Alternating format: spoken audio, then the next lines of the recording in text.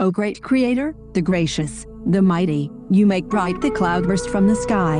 You are the Most High. Look down at your people who are in tears, and comfort your people. We are grieving for those who lost their lives in the Native American genocide. Remember the prayers of the noble chief Sitting Bull and the faithful Lakota. Remember how they defended their homes and asked for your protection, and prayed for restoration and justice. By the blast of God the wicked will perish, and by the breath of God's nostrils are they consumed.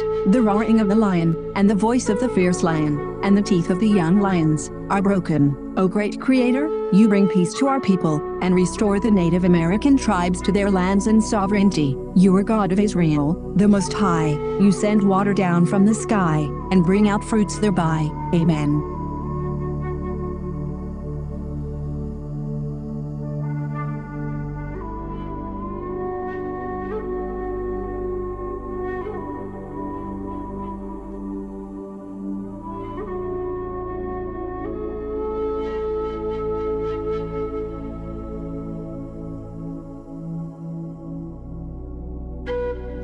This is April Schulthies.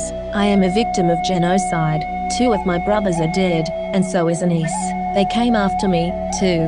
Genocide is going on today. Jews, Africans, Muslims, Native Americans, Mexicans, and many more are victims of genocide. This is Rome, and Rome invaded Native America. The forgotten genocide of Native Americans on this continent was not forgotten by God. Never forget. Never, ever forget.